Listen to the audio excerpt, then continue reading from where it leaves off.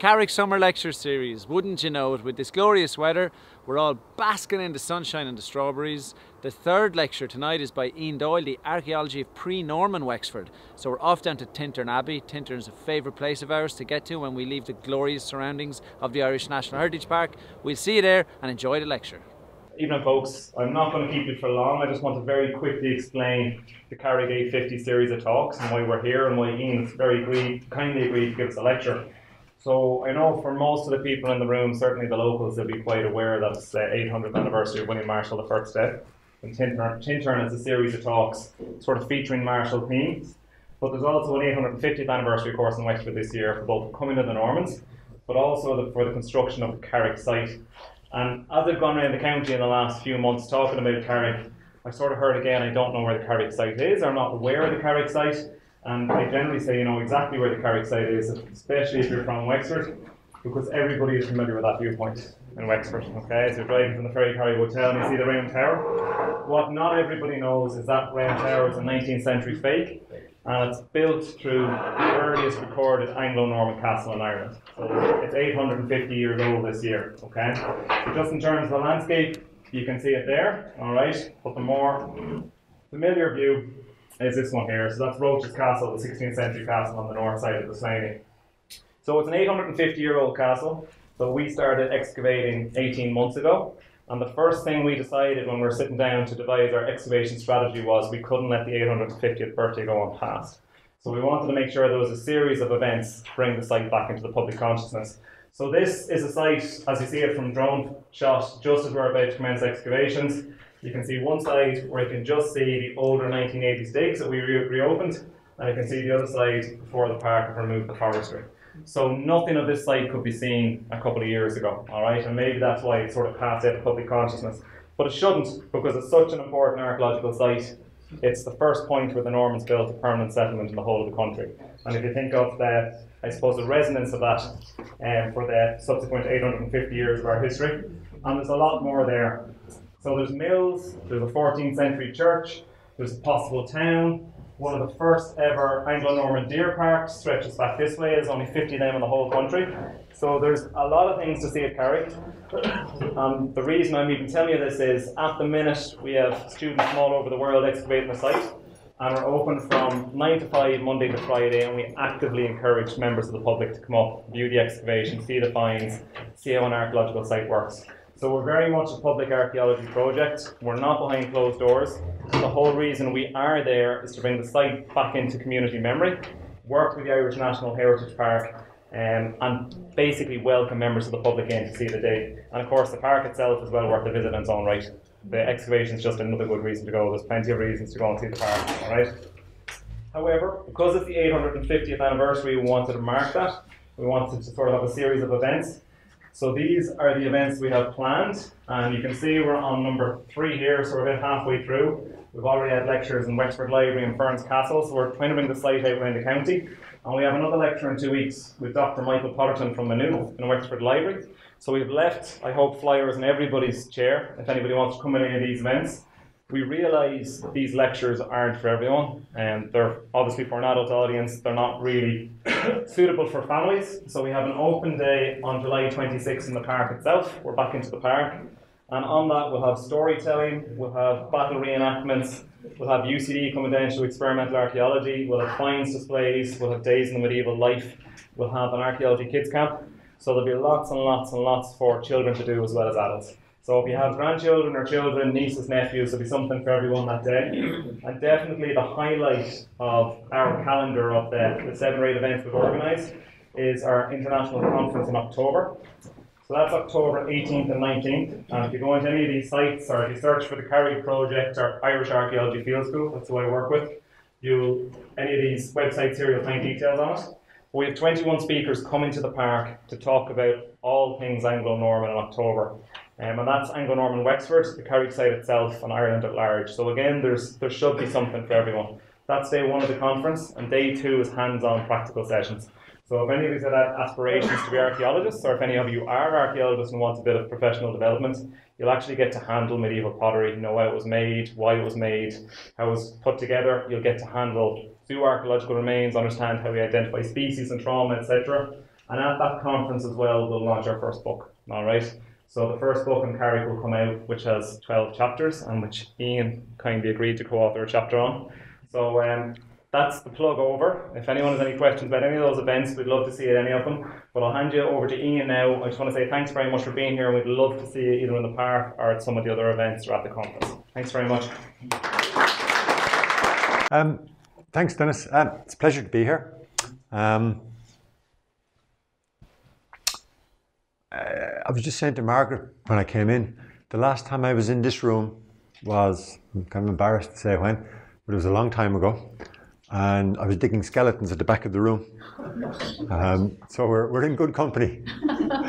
Um, I worked on the excavations here in 1994. There, I've said it now. Um, and it was just a stunning place. So when I heard that there was a time or an opportunity to come back here, I, I didn't have to be asked twice. Um, my abiding memory of, of that summer was there was a World Cup on. And I had a lift down every morning, but I had to hitch back in the afternoon.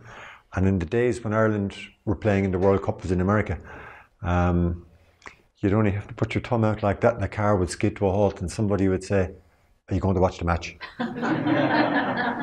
and it was just a national fever. It was really interesting. Um, so anyway, I, suppose what I'm saying in a roundabout way is I have a soft spot for, for Tintern Abbey. Um, and it's, a, it's an amazing spot. Um, so everybody is talking at the moment, a lot of people are talking at the moment about the Anglo-Normans. Um, 850. But what did they come to? What was this place like? What was the archaeology of it like? What can we tell about it? So that got me thinking a while ago. Oh, um, I'd like at the hang of these controls now. Yeah. Um, what am I going to talk to you about? Well, why is this period important? What do we currently know? And what I was going to do is talk a little bit about the early church in County Wexford. Begerin, Kilmokea, Carnsore, Ferns, Taghmon. A little bit about religion, settlement and trade, and towns. Um, and a couple of years ago, Bernard Browne and myself did a book of essays. You know, Bernard is over from Old Ross. We did a book of essays in memory of the late Dr. Billy Colfer. And it, it started, I started thinking about that pre-Norman period in County Wexford. And I went back to a visit by the Royal Society of Antiquaries of Ireland to Wexford in 1930. And basically they were saying, there's not that much here from the early medieval or pre-Norman period. Um, it's the castles and Gothic churches of medieval Ireland which claim the chief share of our interest. I suppose it's kind of hard to argue where we are this evening. Um, on the whole, the Wexford region belongs to the last mentioned type of excursion centre, for although the remains of earlier periods are present, those of the medieval centuries are here the more important. Um, kind of hard to argue, actually. But when you look and when you think about it, we do have quite a bit of archaeology here from the earlier period. Um, but by virtue of a whole series of accidents, just kind of trends, it's never really been looked at. Um, so, for instance, these are archaeological excavations carried out 1920 to 1996, and these are 1997 to 2009. Um, so, a lot in Dublin, a lot around Cork or, or Kerry, which you have a university in, similarly around Galway. But the lack of any kind of university or institute of higher learning here with an interest in archaeology means that things like that didn't really reach those kind of high numbers that you see here. Similarly, 1997 to 2009, look at Cork, look at the area around Dublin, where infrastructure development is finding things. Wexford's a little bit of a laggard, but that's changed a little bit in the last number of years, and I'll show you some new information that came from that. Um, but why is, why is this period important, or this, this period before the Anglo-Normans, say from 500 to say 1100 or 1150 even? Well, it's when Christianity arrived. It's when we start to see towns developing. Um, and it's the heyday of the ring fort. And that's this is the density of ring forts across the country. A lot of them, uh, uh it's um, you can see the map is blacker here in the west. Now, I think one of the reasons for that is they're simply more likely to be retained or preserved in this corner, this part, these parts of Ireland, you get a higher preponderance of tillage, um, generations and generations of it. And monuments like this, which today are just a bank in a ditch, um, but which would have looked like this in the past, uh, maybe two houses, a palisade, um, a causeway in, um, the homestead of a family, um, maybe keeping livestock here, processing cereal, um, churning butter here. Um, this guy's, look, he's coming in with his fish.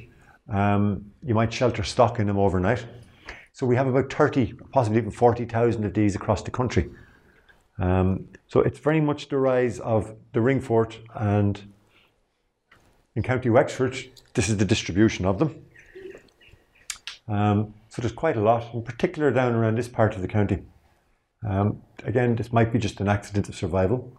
Um, but very, very few actually excavated in County Wexford. Um, this is a very, very small one that was excavated in Tamona. I think that's near Taghmon um, in the early 1970s, and just a little trench put across it here. Uh, it was probably about to be bulldozed by um, agricultural works, and what it found was that there was a ditch here and a ditch here. Um, so it was a bivallate one. And the more, the higher the social status in ring forts, the more ditches you have. So if you had a trivallate one, you were probably a king, probably at social apex, as a general rule of thumb. So there was no dating evidence from this, but most of them date to about 700 to 8 or 900. Construction seems to have stopped of these ring forts around about 1000. Um, when Gerald of Wales, Gerald de Barry, Gerald Cambrensis came to Ireland, he said that nobody was living in these. So we think that the construction tailed off in the, the centuries just before the Anglo Normans came. Um, so when I was thinking about this paper, um, I started looking at the, the Enniscorthy bypass. Um, it's due to open, I think, later this month. But there was a lot of archaeological work done on it. You can actually pick out the route um, in a line. And in this townland, Corbally, just northeast of Enniscorthy, um, there was one really interesting site uncovered. Um, it's on this little low hill in Corbally townland, um, and it's a it's an enclosure. Um, so you can see the way it's a little bit raised up. Um, excavated in 2010, 2011, and now with radiocarbon dates, we know that there's a heart. It's just outside it, I think here, um, seventh to eighth century. And the enclosure was quite big, 65 meters by 23, so that's 65 meters. Was it a ring fort? Possibly. But what they seem to have been doing here was making iron because they found 151 kilos of iron slag just in this small area here. So that's twice my body weight in, in iron slag.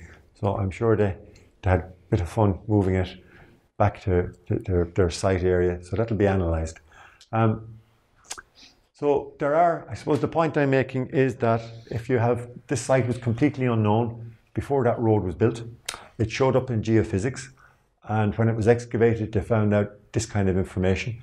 Um, it seems to date uh, what 10th century to middle of the 12th century, so possibly just before the Anglo-Norman period. Um, so sites like this do turn up, and again, it probably slightly proves. Where is it? That point about the density here being higher in this, these less intensively farmed areas, whereas sites like the one I just showed you are probably leveled here. So there are accidents of survival as well. And the other thing about um, the archaeology of County Wexford in this period is there's no annals. There's nobody recording, you know, like the annals of Ulster or the annals of the Four Masters in detail in the southeast. Um, there's no really fine metalwork from the southeast. There's no really fine high crosses or sculpture either. So it's it's almost one of these forgotten regions of, of early medieval Irish archaeology. But I hope I hope I'll prove to you that there is a lot still worthy of, of consideration. Um,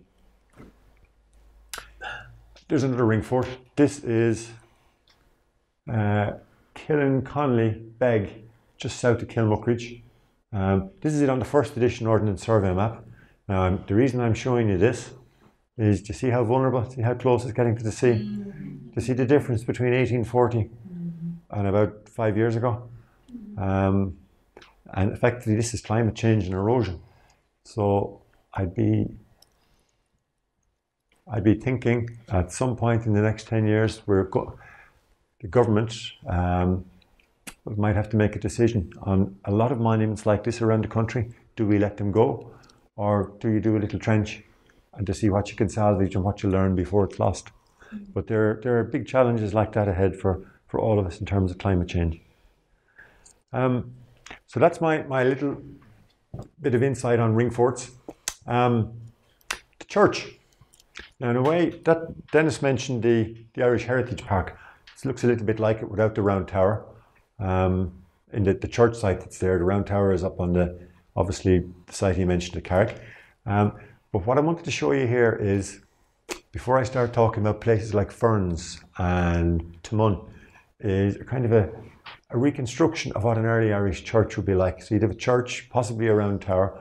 But what I really want to point out is, do you see the curving boundary here? See that? Uh, and then possibly another one here.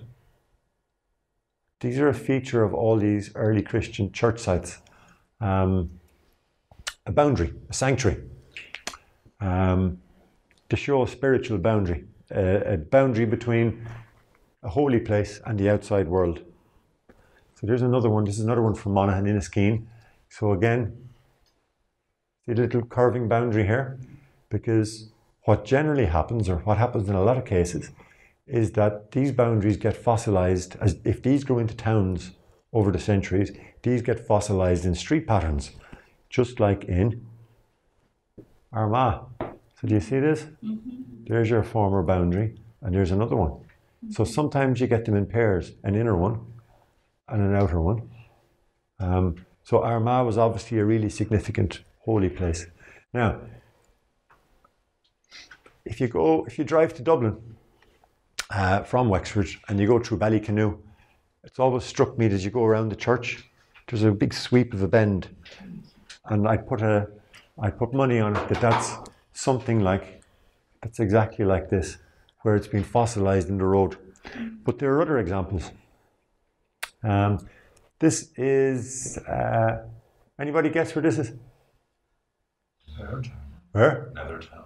Yeah, Carnsore, Carnsore Point in Nethertown. Um, the wind turbines now are the giveaway. Um, and this is where the ESB and the government were going to build a nuclear power station in the 1970s, and there was murder over it. Um, so it never happened, but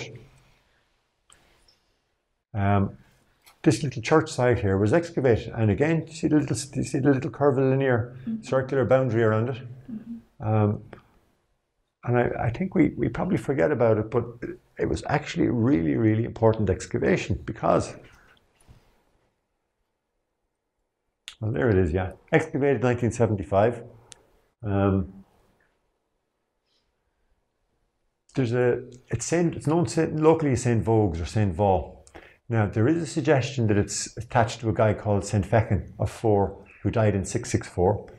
And the reason for that is his feast day is the 20th of June, and that's the date that the pattern is celebrated at St. Vogues. Now, there was three phases of activity here. Um, it's a lovely walk at the moment uh, to go around there because there's all the paths because of these, but um, they get a bit noisy because it's a very windy spot. Um, but what was really interesting about this excavation was this. Um, so in black here, we have the existing church. Um, this one, Okay. right? So that's what the black lines are. Um, but when it was excavated inside it, they found this layer of burning, um, 1975, and it was a structure that had burnt down. And when they looked further, two archaeologists, um, Mary Cahill and Lynch, they found these post holes here. And a post hole is where you have a timber post driven into the ground, and it, over time it, it gets pulled out or it rots. So you end up with a different colour, and maybe a softer, looser fill within this, this hole. So it's really the hole left behind by a former post. And the posts were identified as being a little building. Um, and because it was in a church and over burials, it was a fair assumption that this was uh, a very early timber church. Um, so it's probably one of the earliest known churches that we have in Ireland to date um, that burnt down. Um, if you ask me to guess it, I'd say it's probably 7th century, possibly even earlier. Um, but it's very, very small. We got here. Yeah. So this probably isn't the easiest one to make out, but here's Carnsore. There's our little church inside of it. Um, but here's another one in Kerry, found under another church, so roughly around the same size. Um, another one here, also in Kerry, a place called Caherlehillan. Um, this is a bigger plan of it. This is probably early 6th century. Um, so what you're probably looking at are some of the earliest churches of some of the first Christian communities in Ireland. Um, and the fact that the one in Carnsore was built over some of the burials, um, it may have been a shrine church or um, a place where you went and just the small size of it, you'd really only fit one or two people in it. Somewhere where you go and say prayers for the dead, um, maybe over a saint, maybe over a, an early founder of of the of the the, the, the settlement. Um, so that's Carnsore. Um, so I, I, I suppose what I'm really arguing is that when you look, there's a lot more insights and knowledge and wealth and depth to this early medieval archaeology in Wexford than we give ourselves credit for. Similarly, this is Begerin in Wexford Harbour. It's now reclaimed. Um, this is a former island. And this is supposedly pre patrician, in other words, before Patrick, because there was Christianity in Ireland before Patrick. Um, doesn't look like much today. There's a ruined church. Um, but in the 19th century, all of these stones, cross inscribed slabs were recorded. Um, it was a place of pilgrimage, and that's where people were going at the time. Um, it was also raided by the Vikings on several occasions. Um, but there's also, when you, when you dig into it, um, so this is on the first edition Ordnance Survey map. So this is Begerin. This was the Wexford Harbour, the very northern reaches of it. It's the North Slobs now. So this is the area that the, the white-fronted geese spend all of their time in since reclamation. Mm-hmm. But in the in the middle of the 19th century, when they were doing the reclamation, uh, there you are, 1847. There was a guy from the Geological Survey there, 1873, and he started recording these rows of big oak piles that were turning up. Um, and there were each pile was about 45 centimeters thick uh, 45 by 23 centimeters thick, and they were 122 centimeters apart. Now, he didn't figure out how long they were running, but they seemed to be running from here out. Um, now, that kind of oak in the early medieval period is a huge investment in terms of time, resources, and woodland. Um, so, my suspicion is that he, he called it a causeway but we could probably better see it as a bridge or a jetty. Now, the question is was it a jetty just running out here and stopping? Or was it a bridge out to one of these islands? In which case, it would have been about three, three or four hundred meters in length. Now, that's not impossible because we know that they were building bridges in the 8th and 9th century at Clonmacnoise. And there's also an amazing example of a timber bridge on the River Cashen in County Kerry from the pre Norman period as well. Um, and technologically, this, this the, area before reclamation here would have been just like a lagoon. Um, even today, the water in the harbour is quite shallow at times in this particular area. So it may well have been that we have evidence for an early timber bridge in the Wexford Harbour area. Um,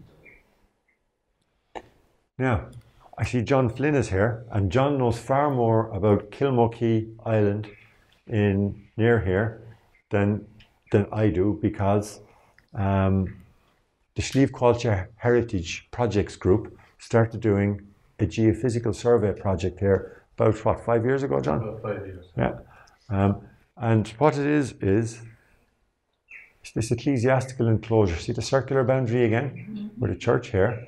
Um, lovely little little cross and some um, parts of an old early medieval mill millstone, and it's on a former island in the river uh, Waterford Harbour. So you've got the power station here. Um, then this is leading down towards Hookhead. Um, but it's a a site with an amazing history. Um, it's in the records. It's known as Inishtivla, um, Eter u Kinsale agus Nadeshi. So between Akinsale, which is County Wexford, uh, roughly, MacMurrough's tribe, and Nadeshi, Waterford. Um, found, it seems to have been founded by two sons of A of Artley. That's Artley near Gowran, not, not Dublin. Um, Kilmachnay seems to be where the name comes from. The Church of the Sons of Aid. Um, now, there was a very senior cleric from here in 697, um, a guy called Suadbar of Inishtevla, who was a guarantor of the law of Adamnan. The law of Adamnan was a major piece of legislation in uh, the late 7th century. We also know that there was at least four Viking raids on it 822, 953, um, by nobody by, by Olaf Cuaran, the very famous king of Leinster, sorry, king of, of Dublin. Um, and again in 962. The Vikings didn't waste time raiding places that weren't worthwhile. they went for places that were well worth their while. So on Great Island, and even judging by the size of it, um, if, it's a, if it's a serious place, probably um, on a routeway with a ferry point across the, the harbour, the, the Waterford Harbour estuary here. Um, so these are all John and his group's images. So there's our enclosure here, a LiDAR image which the group got from um, Ordnance Survey and from, they got a, guy, a geophysicist called Kevin Barton to help them generate. This is an old map from around, around 1900 um, showing a survey of it. Um, and then the results that this is in the, Ron will keep me honest, this is in this quadrant here when they did some geophysical surveys. Um, another little enclosure here um, with a possibility of a building within it. Um, some more activity here. Um, and I think, John, this was the area in the north east. east. Yeah. A very large structure here, rectangular, um, maybe 20 metres by, by 40 even. Um, and this is the boundary ditch. That's inside boundary ditch. Yeah. yeah. Anything you'd like to say? Or? I know, I know. That's that image number one. Yeah. That's on the inside. That's the new uh, ditch that we discovered that you know it's not the boundary one with the foss. Yes. But it's it's another one yeah. about twenty meters inside. Yeah. Uh, going around with say parallel, if you want to say parallel to the Yeah. outside one, you know. Yeah. So it seems to have been uh. Okay, good. So the lads did this project and they published it in the, the essay, the book that we did for, for Billy Colfer, Medieval Wexford. And I always point to it as an example of a really, really good community driven project that was producing stuff like this. Um, so here in this part of County Wexford, there are community groups doing amazing projects like that. So well done, John and all the lads. Um, will we go to Taghmon? Um, I'll show you a few interesting things about Taghmon. Um, a couple of years ago, Taghmon, I, I, found myself spending a lot of time there on a bicycle. Um, I, I like cycling, and my route always seemed to take me through Taghmon because I was trying to understand from the point of view of, uh, of an archaeologist. And this is an early photograph from the 1970s, but when you're in Taghmon, Taghmon is actually a really interesting place. Um, it was founded, it's an early, very early monastic foundation, probably in the last half of the 6th century, by a guy called St. Fintan or, or Munna. Um, so the name then comes from Chach, the house of Mun, Chach Mun. Um, so he's from eastern Donegal, and What's really interesting about him as well is that there's a Latin life written all about him. Now, he seems to have been the contrariest individual you could have met. Um, he didn't tolerate, I'm going to say he didn't tolerate fools gladly. He didn't tolerate much from what, I, what I've read of it. Um, but it's a really interesting life because it was written around 800. It's, it's a very early life as saint, saints' lives go. A lot of them are only written around 1200. Um, but he tells in this, the story is told that um, the lands were granted by a king of the fort. So you know when you We have two baronies in the south, the very south, Forth and Bargy. Yeah. Um, Ibarga uh, is Bargy, named after the Ibarga kingdom. And then Forth is the fort named after a Fort dynasty. So they gave Acha Liadrum, I think that's the Grey Ridge, uh, to Manu to set up a monastery. Um, so late 6th to early 7th century for a foundation. Um, indications of at least four churches, portions of a high cross, um, tower house here as well. But when you look at it, then you have to ask uh, another church here actually, um, with some stone crosses as well. Um, this is the Mart site. I'll mention that in a minute. Um, so this photograph's from the 1970s. But when you look at it, it's very hard to pick up the fact that what you see there in this photograph, I'll show you another one now, that it's an early monastery.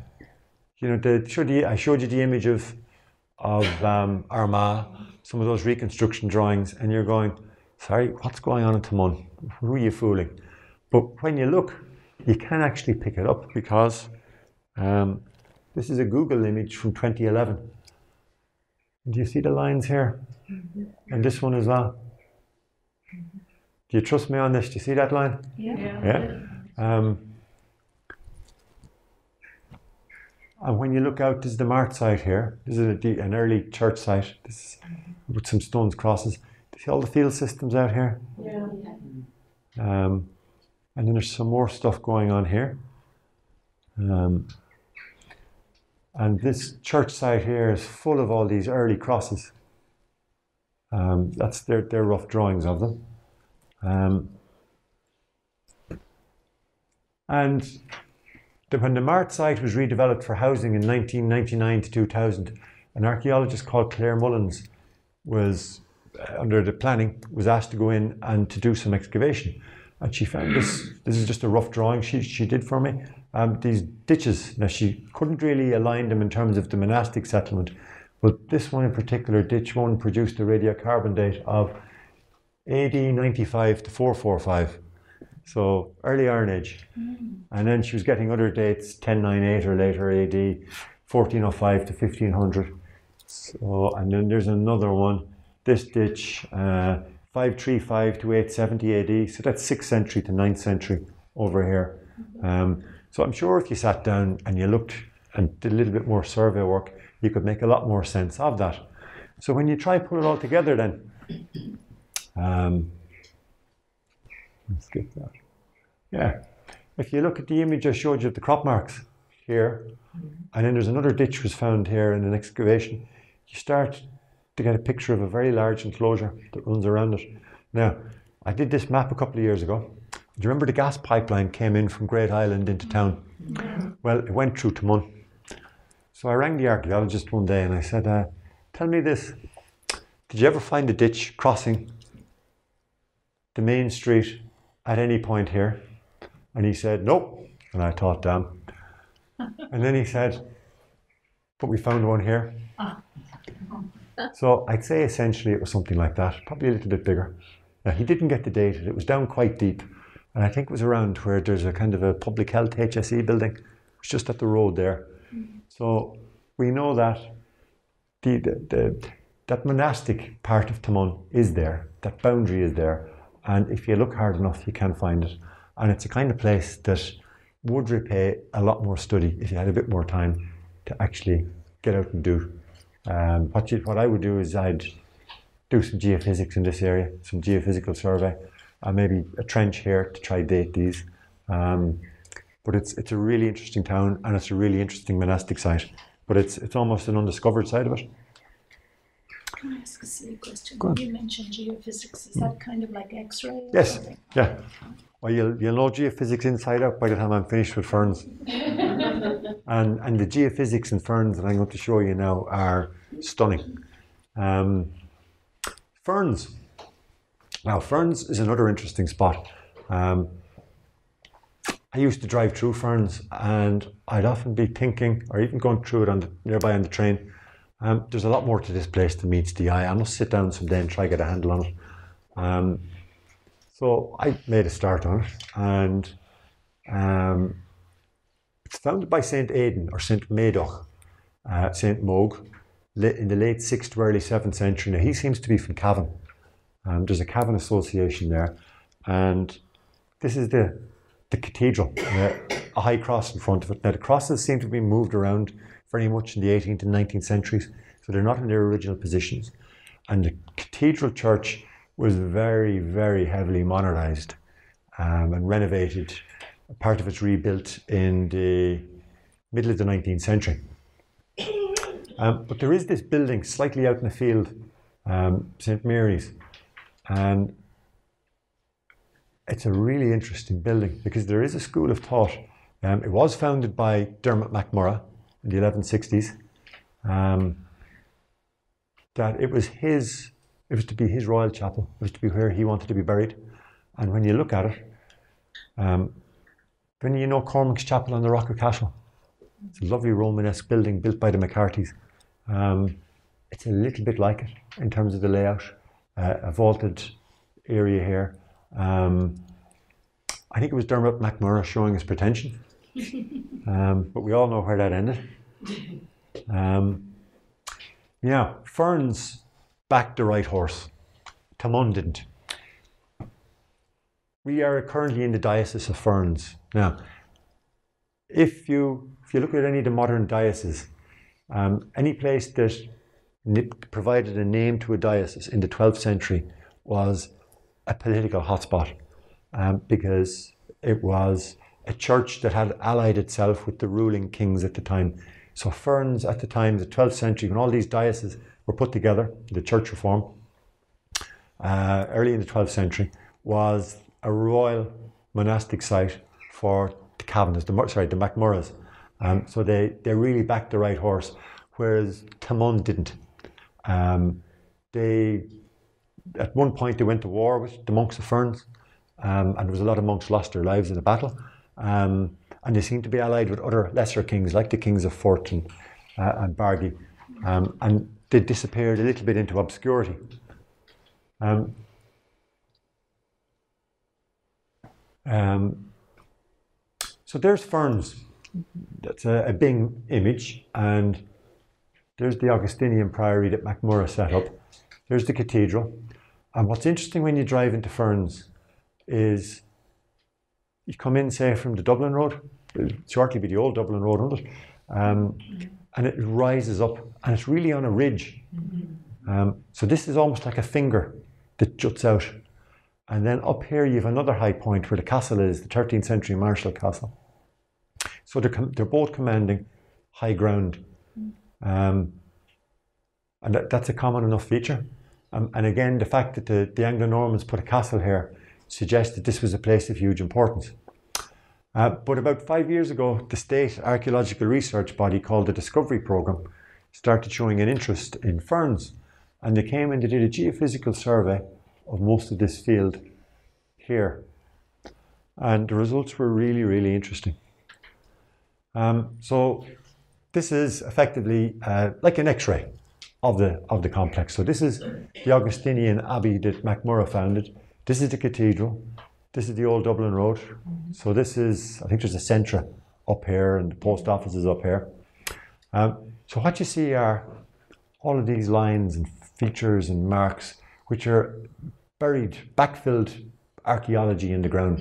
And there's a couple of things that are really interesting. Um, do you remember we talked? Remember I mentioned enclosures.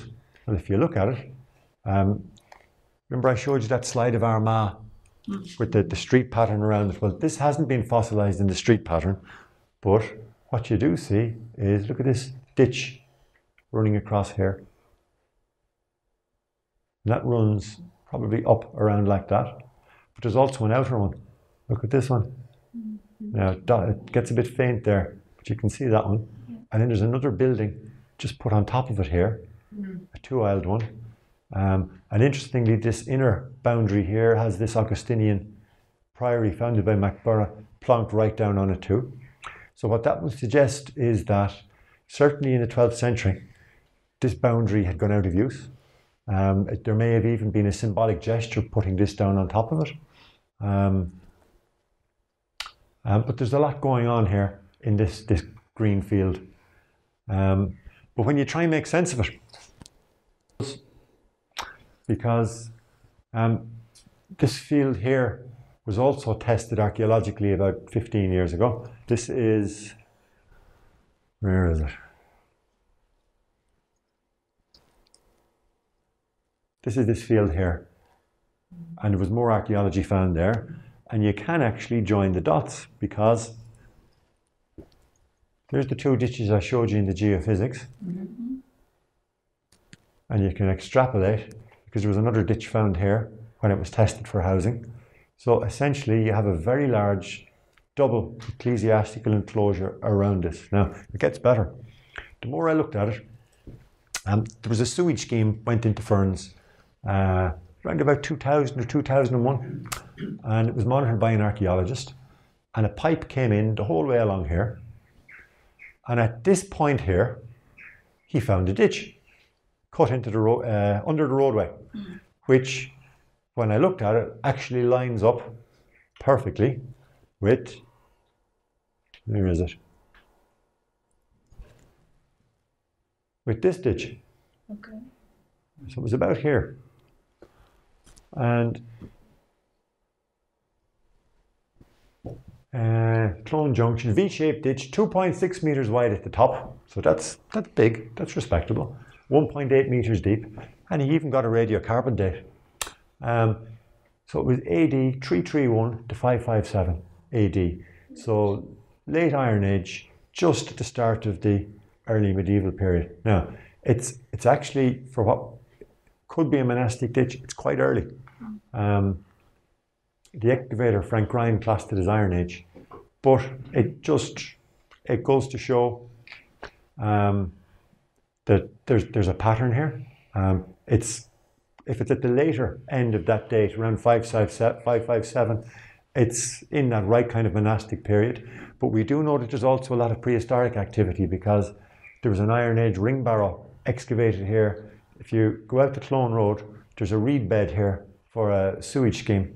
And it was a, I think it's first, second century AD, but it had a lovely collection of Iron Age glass beads in it. Somebody was cremated with a lovely collection of glass beads. Um, and there seems to be a flat cemetery, probably from the Bronze Age, was found here when this housing scheme was done.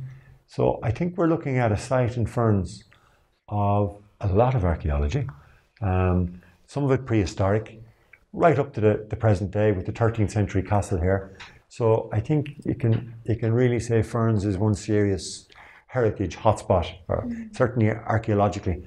Um, so and even if you measure out these, what I've ta- what I've argued are monastic ecclesiastical enclosure ditches. The inner one is about 200 meters. That's big. That's respectable. The outer is 300 to 350 meters. So obviously there's more room for error there, but they are very respectable, very serious, very large monastic period ditches, if I'm right. Um, so it's a it's a serious place, um, and I think part of the reason for that is politically they back the right horse. But Follow the money. follow, follow the money. Um, but uh, that begs a question then. Um, was Christianity adopted overnight? I doubt it. Um, it was probably a very slow process um, that where people might have hedged their bets. Um, and I'm going to show you an example now of the Gorey bypass, the archaeology from that.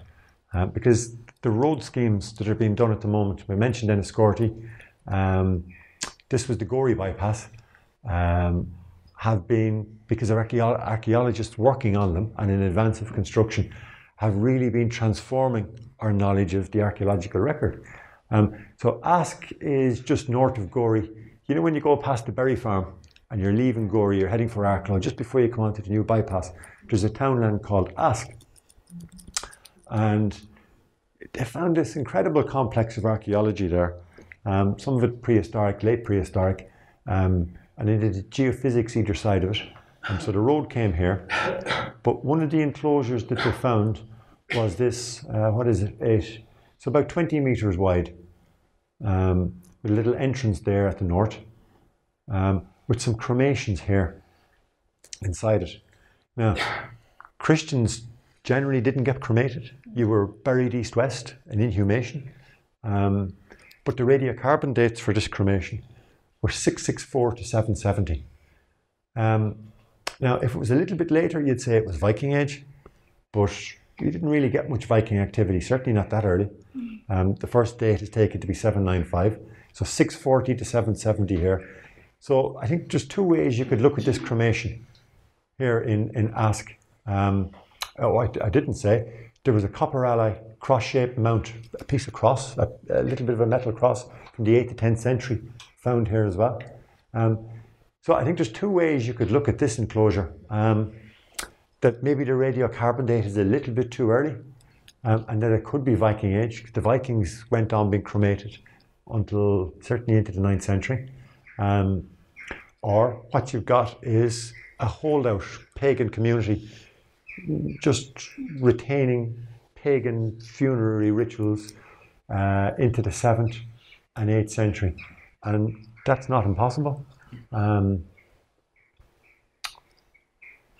because the continuation of cremation is probably a key indicator of pagan ritual practice. Um, so conversion was probably a quite slow process. Um, the one thing we don't have in County Wexford is really good evidence for early medieval trade. Um, this is a particular type of pottery called eware that comes from probably Bordeaux in the 6th and 7th centuries. Now we have a gap here in the southeast, but my bet is it ends up all up and down the west coast of Britain and Ireland. But my guess it's um, little cup the size of coffee cups, uh, storage jars, jugs, uh, bowls, pretty crude stuff. It's called eware. Um, but there's none from the southeast, apart from this one dot near Tramore, uh, this one uh, site near Tramore, um, is that it simply hasn't been found because the excavations haven't been taking place in County Wexford. Um, but if there was one place I'd put a guess on, um, this is Dalkey Island. You know, you know, when you go up on the train to Dublin and you see this lovely terrace of houses, uh, I think it's Sorrento Terrace. They're very expensive. Um, but there's this island, Dalkey Island, with a Martello Tower and a little church. In the sixth, seventh centuries, there's a, a, there was a promontory fort here, and it looks like traders were coming, and they'd stop here, and this was maybe kind of a neutral trading point. So pottery was being exchanged, and probably other goods as well. I don't know what was being traded. Probably hides, leather, um, possibly even slaves. Um, but sites like this were being used as kind of neutral exchange or mediation points. Um, it's a really interesting place. Now, the obvious category for that here in the southeast is can anybody name the spot? It's written there, isn't it? Yeah. Um, it's Saltees. Um, we have very few islands on the east or southern coast. This is one, but there's a promontory fort here. And I just wonder is that a likely place to start looking for evidence of trade and importation points like that? There's also talk of a monastery on the Saltee island, and this is known as the Abbeyfield. Um, but the problem with that, the, the reference to the Abbey Field, is the monks of Tintern owned Saltee Island in the 13th and 14th century, and it may be a reference to them. But it's a it's a fascinating place, not just for birds, but for archaeology as well. There's also an Ogham stone from uh, the sixth century, uh, from the Great Saltee Island as well. Yeah, that's it there. That's our. You have to trust me on it. There's this is our promontory fort here. Now it's slowly being eroded as well, but uh, I, I'm hoping to get out to it this summer to have a look at it. Um, and you know Ballytrent, just you know near Carne. Yeah. Um, so there's Carne Beach. Um, probably one of the biggest ring forts you'll see in County Wexford as well. Um, it's now a luxury garden, isn't it? Or um, a really well kept garden. Um, but it's a bivallate, possibly tri- trivallate ring fort. And my suspicion is that places like this um, were centres of royalty, possibly even the Bargy or Forth Kings. And this would have been a power centre, not just looking inland, but out, outwards into the sea as well. Um, and that's a drawing of it from 1799 by an antiquary called Austin Cooper. So you can see how well the banks were preserved even then. So there's a lot more of this kind of early medieval archaeology under our noses, and this would have been a key point probably for, for a king, just judging by the size and scale of it. Um, I'm nearly there now, um, because I'm going to talk about towns and the Vikings, because the Vikings came then, and in school we were all told that the Vikings were raiders and did terrible things in monasteries, and yes, that's all true. But what we weren't told was that the Irish were as bad at raiding monasteries, um, especially if they weren't ones for your tribe. But eventually, the Vikings settled down and began to set up towns. Um, and what seems to have happened is that the Irish kings cottoned on to the fact that, you know, these Vikings aren't all that bad. Um, we can make money off the back of them and they can help us modernize our economies. And if we modernize our economies, we can become more powerful. And this is the trend that happens in the 10th, 11th centuries on. Um, that the Vikings weren't thrown out, they were tolerated. Alliances were formed with them. Uh, a silver bullion economy was introduced, and they became centres of trade. And if you have a centre of trade and you're a king, you can tax it. Um, so you see towns like Wexford, Waterford, Dublin, Limerick, and the really smart progressive kings were developing them. It happened a little bit England in, earlier in the, on the continent and in the UK. Um, but the key standout excavation that gives us an insight into how this was developing in County Wexford was Bride Street, County Wexford. Uh, sorry, in Wexford Town. Um, you know where Coleman Doyle has that red brick building? Um, think there's a pub, the Bugler Doyles. Um, now, this was excavated. Um, it was Coleman Doyle owned it. Um, he's, he's, he passed away a few years ago. Um, and when foundations were being dug, the builders started finding things like waterlogged timbers. And the local historical society said, oh, stop. This could be important. Um, and they were dead right. Because it was probably one of the best preserved sequences of Viking, pre Norman, and medieval houses um, outside of Wood Quay or Fishamble Street in Ireland. Um, because it was simply house after house after house after house. The houses here would have, they would have had a, a lifespan, they're timber, of about 15, 20 years, and Ireland is pretty damp. So they're, they're rotted, they're rotted from the ground up, and probably the roofs as well. Um, and what they simply did was they knocked them down and they built another one on top. So you get layer after layer after layer. So these were excavated by Ed, Ed Burke was his name. He's an archaeologist. He now works for the National Monument Service. Um, but what he got was um, the drawing isn't great. I'll show you a photograph in a minute. A post, post and wattle walls. These are very similar to what were found at Woodquay in Dublin. So you'd have a post and wattle wall here, a doorway here, and so the house would have gone around like that. Um, you'd have a central heart, uh, post here, post here, post here, post here, and maybe a thatched roof. I'll show you a picture in a moment. Um, uh, come back. Yeah, so this was a model that was built at the National Irish National Heritage Park. Um, so you, you, get the picture. Um, now this one, had, this one had the walls were daubed with mud. I don't think there was any evidence found for daubing of wattle walls um, in Ireland. Um, certainly not in the ones I've ever worked on. Um, so it was probably a um, a device to try and make the house in the heritage park last longer. But, and this is the point I want to make. Um, if you look at, remember I said there was a sequence of houses at Bride Street. There's one, two, three, four, five, six, seven, eight, nine, ten, eleven. There's 11 houses, right? All, so this is the earliest one, second earliest, third earliest. So what you have here is a wall, see the black line, and then the inside is a clay floor, and then you have two doorposts here. Then you have another one here, which was later just built on top of it. Then another one. Um, not sure what happened there. But watch the way the orientation of the houses shift. Mm. See the way they go from being like that to like that. Now, what was going on? Well, these ones that are facing down the page lined up effectively on the modern street pattern. You know, the modern layout of grid of houses. Okay. Whereas this one, the first tree, um, which probably date from about 1000 to 1050, were facing off at an angle. Um, and what this probably suggests is that the modern street pattern that we see in Bride Street, um, South Main Street, was probably only formalized, I would guess, around 1050. So, in other words, somebody only got around to laying out the street pattern about 1050, maybe 1100.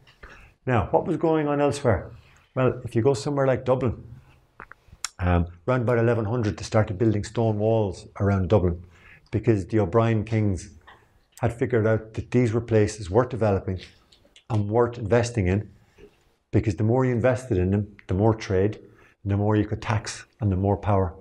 Um, so my suspicion is that the Kinsella kings, the MacMurroughs, um, started planning with the Vikings around about 1050, 1100 to rationalising and formalising property boundaries. And it's probably evidence of an overarching central authority like a corporation that was laying out plots and patterns. Urban planning is what you'd call it. Um, because that property pattern stayed with us. There's, that, that was the 19th century alignment. And there it is again, look. Um, the whole way up. Um, so I suppose the point I'm really trying to make is that um, you've got this kind of fuzzy urban development from about 1000. Now, what, what was going on before 1000 is a, an even more interesting question. Um, I'll come back on that. Um, up to up to about 1000, this kind of alignment, about 1050 to 1100, everything gets straightened out and rationalized. And when the Anglo Normans came, they attacked the town, which was defended. And my one, my, my, my, my suggestion is that around about 1100, 1200, or 1100, around about the time they were straightening these things out, they were building the defences and organising what we call a modern town today. Um, and that's probably the key point in a lot of these towns. So, what I'm arguing is that it wasn't just the Anglo Normans that were setting up and doing urban planning. They did that on a much bigger scale, but this is going on in the pre Norman period as well. Now, the big question is if these houses at the earliest levels in Bride Street, and there have been more of these excavated in Town as well, but i have never seen the dating and I've never seen any as early as these ones, around about 1050, 1100. If we know that there are references to the Vikings of Loch Garman in 888 in the late 9th century, and all through the early 10th century, where were they? Nobody knows. Um, and the game changer in this was about 2005 or 6. Um, if you're ever on the Waterford bypass and you go across the new bridge and you know Mount Congreve Garden, there's a big sweep in the road, goes inland a little bit um, between Mount Congreve and say, the Tramore turnoff. Um, and the reason for that is because a site called Woodstown was found. And Woodstown was a 9th century Viking raiding base where they were cutting up, ha- cutting up hack silver little bits of gold, weighing it. We found all their weights there. Uh, even a couple of Viking warrior burials as well. It's all been published. If you Google Woodstown, County Waterford. Um, and what, what it effectively means is there was an earlier version of Waterford, and at some point they left or they moved. And it begs the question is there an earlier version of Wexford somewhere up in this estuary? in the area around Wexford Harbour. It could be Begerin because we know that they were out there as well. Um, so it's really there was a kind of a fuzzy, hazy period of Viking settlements that led to towns which we don't fully understand. Um, but thanks to this excavation, we can say that around about 1050, 1100, this change in alignment happened. Um, but the question is, where was the earliest Viking settlement? But we're not alone in that. There are questions like that still about Dublin despite all the excavations. Waterford as well. Um, So we've learned a lot from a lot of this kind of archaeological work over the last number of years. Um, it's told, tell us, told us an awful lot about the archaeology of the pre-Norman period. Um, I think I'm on to my last slide. You'll be glad to hear. Um, and what we've done, to try sum up, we've looked at Ferns, Taghmon, Carnsore, and other places. Um, so in terms of the early church, there's a lot more there than we ever thought about when you looked at it, when we looked at it. Um, despite the comments of the Royal Society of Antiquaries in the 1930s when they visited and said everything is medieval, um, there's actually a much stronger early medieval signal than previously thought. Um, but like any discovery, it's a product of accidental discoveries, having scholars and interested people here, antiquarian activity, the absence of a university, and until recently, a lack of linear infrastructural projects, roads, gas pipelines. But even looking at this in a kind of high level way, or the very kind of quick survey I've done with you, um, I think it can show that the early medieval period was transformative, the origins of Christianity, monasticism, um, in the 6th, 7th dynasty, and eventually what happened to them. Um, and then those urban origins. And I think if you look at kind of Wexford landscape, you can pick up a lot of these traits. The, the, emergence of the church, a diocese called Ferns, named after a MacMurrough hotspot or political power centre. Um, somebody cottoning on to the fact, probably in the MacMurrough dynasty, that a Viking settlement in Wexford made good business sense and was a basis for developing their own power. Um, and these kind of trends were going on all across Ireland uh, from the 10th, 11th centuries on, where the economy was starting to develop, and Wexford is no different. Thank you.